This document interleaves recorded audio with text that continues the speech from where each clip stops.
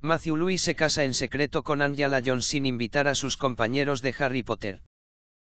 Ya no queda ni rastro de aquel niño que por contrato tenía prohibido cambiar nada de su aspecto físico, es decir, ni adelgazar y mucho menos arreglarse la dentadura que tango lo caracterizaba.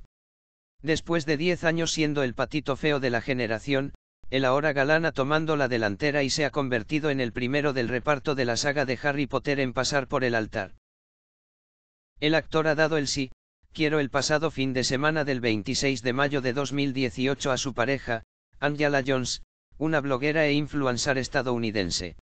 Así lo ha confirmado el principal protagonista a través de sus redes sociales con una fotografía en la que la pareja se el día del gran evento, no solo me perdí los Arctic Monkeys en los Los Ángeles sino que ellos estaban actuando en Italia al mismo tiempo que estábamos allí y mi esposa me ha hecho casarme, bromeó en su cuenta de Twitter.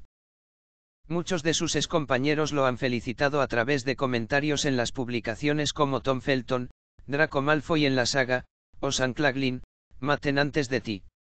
Sin embargo, ni Emma Watson, ni Daniel Radcliffe, ni Rupert Grint han dicho nada al respecto y, lo más importante, tampoco han formado parte de la lista de invitados del gran evento.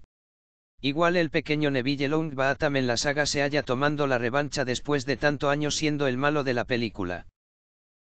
Tras dos años de noviazgo. La pareja ha afianzado su relación después de dos años juntos. Louis y John se conocieron en 2016 durante un evento del mundo mágico de Harry Potter en los Universal Studios en Orlando, donde la joven era una de las organizadoras y el actor uno de los grandes protagonistas.